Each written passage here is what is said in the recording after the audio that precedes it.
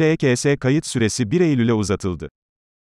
Çiftçi kayıt sistemi, ÇKS, kaydını yaptırmayan çiftçiler için müracaat süresi 1 Eylül'e uzatıldı.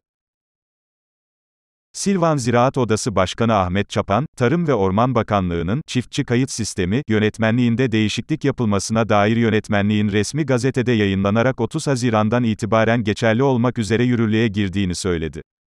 Çapan Buna göre, 2020 üretim yılına ilişkin 30 Haziran'a kadar olan ÇKS kaydını yaptırmayan çiftçiler için bu süre 1 Eylül'e uzatıldı. Daha önce ÇKS kayıt işlemini yapmayan çiftçilerimizin bu 10 günlük süre içerisinde ÇKS kayıtlarının yapılmasını arzuluyoruz. Çiftçilerimiz 2020 yılı dosyalarını Silvan İlçe Tarım ve Orman Müdürlüğü'ne teslim etmeleri gerekmektedir. Çiftçilerimizin mağdur olmaması için tüm muhtarlıklarımıza ve cep telefonu aracılığıyla ÇKS kaydını yapmayan çiftçilerimize mesaj yoluyla ulaşmaya çalıştık dedi.